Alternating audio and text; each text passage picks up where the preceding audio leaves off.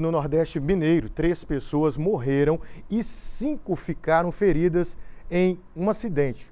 O registro foi realizado durante a Operação Finados da Polícia Militar Rodoviária. O Miguel Braz volta com a gente e atualiza as informações e sobre o que aconteceu, Miguel. Roberto, foi um acidente entre dois veículos na MG 217 na cidade de Malacacheta.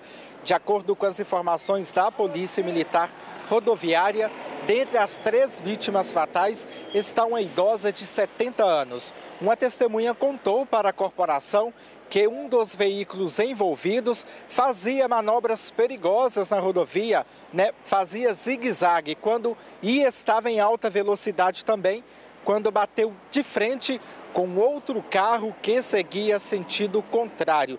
Portanto, duas pessoas morreram no local.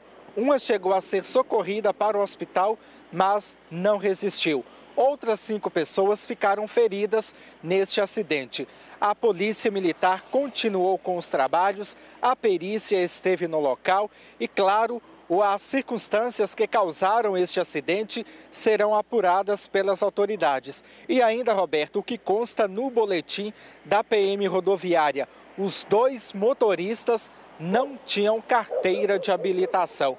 O acidente foi durante a Operação Finados. Roberto.